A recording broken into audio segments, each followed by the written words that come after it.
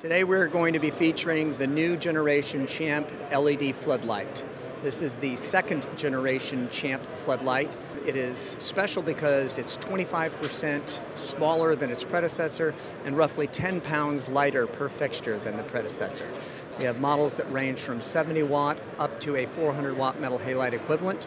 And uh, in the new generation, the lumens per watt have climbed now to 117 lumens per watt. So we've got a much more efficient fixture and a much smaller footprint than we did previously. Due to the fact that the fixture is smaller and lighter, it's going to be helping the contractor significantly on installation as well as wind loads if it's used in an outdoor application.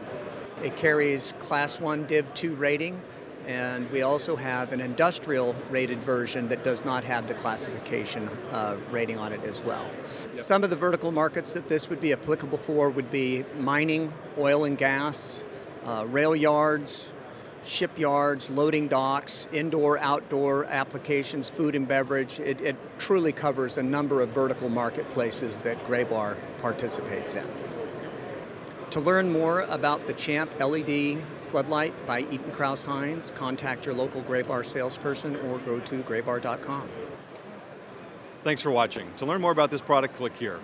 To learn more about the latest products and services that Graybar is offering our contractor and communication installer customers, click here or down in the description to subscribe to our newsletter.